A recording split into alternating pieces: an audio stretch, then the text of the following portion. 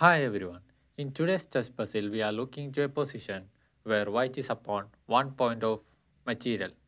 White is having this extra pass pawn. So material wise, white is upon a pawn and position wise also, white is having the winning advantage of plus 5.8. If you look at this position, you can see white is having this 3 versus 2 pawn majority.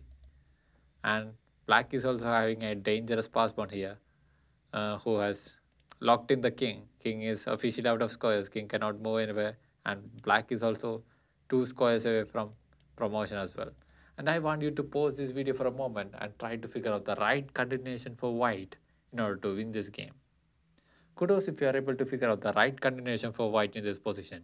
And it begins with, comes with a sacrifice of a pawn, which is e6. once black captures this pawn, f takes on e6, then it will be f6, sacrificing again. Once black captures this pawn as well, g takes on f6, then we will push g6.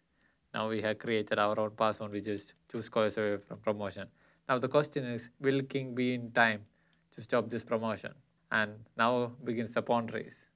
King to d6, g7, king to e7, and g8 equal to queen, and the game is over. Kudos if you are able to figure out the pawn race to win the game for white. I will see you in the next one. Bye.